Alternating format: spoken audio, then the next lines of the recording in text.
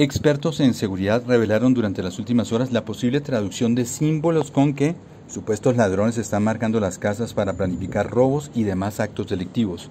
Estas marcas comenzaron a aparecer durante las últimas semanas en sectores exclusivos de la ciudad de Bogotá, en Colombia, donde vecinos de diferentes zonas alertaron por marcas que aparecen en sus muros y puertas. Las denuncias fueron interpuestas por vecinos del barrio Santa Bárbara de Unzaquén de la capital. Según expertos citados por un prestigioso diario capitalino, los símbolos o similares serían los que los ladrones podrían utilizar para marcar las viviendas. Círculo con una X en el medio, vuelven pronto. Círculo con líneas parecido a un reloj, abren con cadena. Rombo, casa deshabitada. Líneas curvas, muy buena para robar.